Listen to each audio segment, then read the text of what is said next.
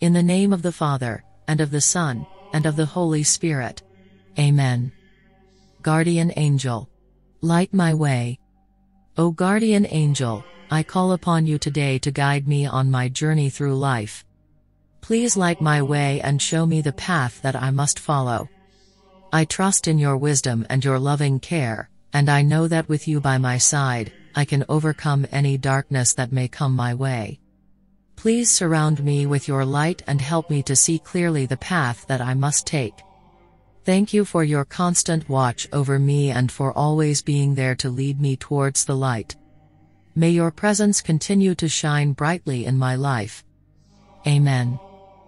Glory be to the Father, and to the Son, and to the Holy Spirit. As it was in the beginning, is now, and ever shall be, world without end. Amen.